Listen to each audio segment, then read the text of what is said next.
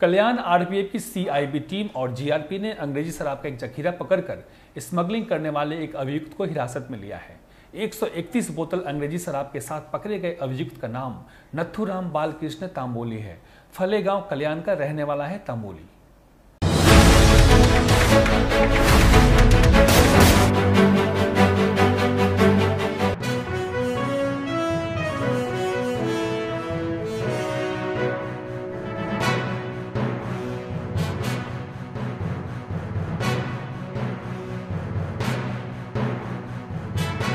आज सुबह साढ़े दस से ग्यारह बजे के बीच शहाड़ और टिटवाड़ा के बीच एक आदमी, जिसका नाम है नथुराम तांबुड़, इसके पास 200 दारू की बोतल मिली है।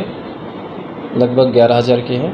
हमने उसके, उसको ताबे में लेके महाराष्ट्र दारूबंदी कायदा में कार्रवाई की है। आगे की जाँच चालू तो बने रहिए हमारे साथ, देखते रहिए न्यूज़